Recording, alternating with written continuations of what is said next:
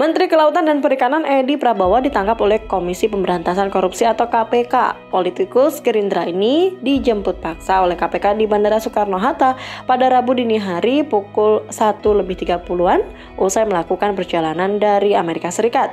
Sosok Edi Prabowo memang cukup kontroversial saat ditunjuk sebagai Menteri KKP, menggantikan Menteri Susi Pujiastuti. Belum jelas kasus apa yang menjerat Edi Prabowo sehingga menjadi incaran KPK. Selama menjabat sebagai Menteri KKP kurang lebih satu tahun di bawah pemerintahan Jokowi, berikut beberapa kebijakan kontroversial Menteri KKP Edi Prabowo.